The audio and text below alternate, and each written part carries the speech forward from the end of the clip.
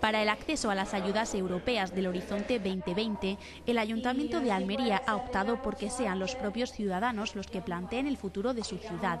Así ha nacido el proyecto Almería 2020, que ha desarrollado tres concursos de fotografía, dibujo y redacción para saber cómo mejorarían la capital sus vecinos. El Ayuntamiento de Almería está preparando la convocatoria para poder concurrir al Horizonte 2020, uno, eh, una ayuda de la Unión Europea eh, en la que Almería se juega mucho y nosotros hemos decidido que la mejor manera de poder concurrir es haciéndolo de forma participativa y escuchando a los almerienses de cara a preparar los futuros proyectos.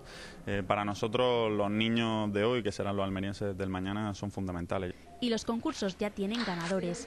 Cerca de 600 escolares de la capital han participado en los certámenes de dibujo y redacción.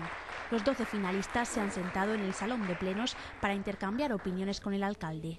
No tiene que ser tan sucia las personas y que tiene que ser más limpia y tirar las cosas de la basura y también jugar y respetar las normas. La gente salía más a la calle que algunos días no parecieron a la ciudad fantasma porque muchos días el centro está inactivo y si se organizaran actividades pues la gente saldría más. También que se incentivara más la Universidad de Almería porque así más jóvenes eh, vendrían aquí y los jóvenes al fin y al cabo son los que más salen a la calle. Estos pequeños, además de tener en casa un trofeo con su trabajo, tienen el orgullo de saber que sus ideas pueden plasmarse en un futuro mejor para su ciudad.